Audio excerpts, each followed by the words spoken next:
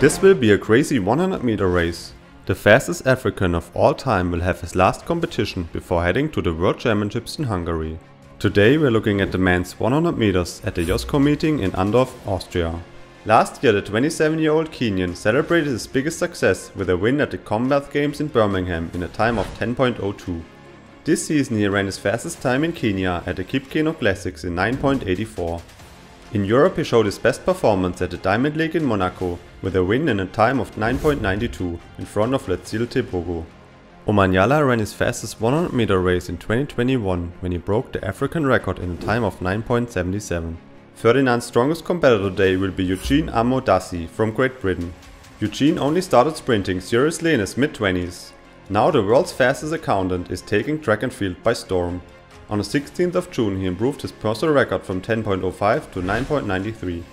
In the heat Ferdinand Omanyala won in front of Eugene Amo-Dadzie in 10.08. The final will be amazing. Can he break the under 10 seconds barrier? In the final Eugene with the best start. Omanyala is a little bit behind. He's coming closer now, but Eugene Amo-Dadzie wins in 10.04. Omanyala second in 10.07. Great race. If you missed the video about the stunning showdown between Ferdinand Omanyala, Marcel Jacobs and Noah Lyles, click up in the right corner. Thanks for watching everyone and see you next time.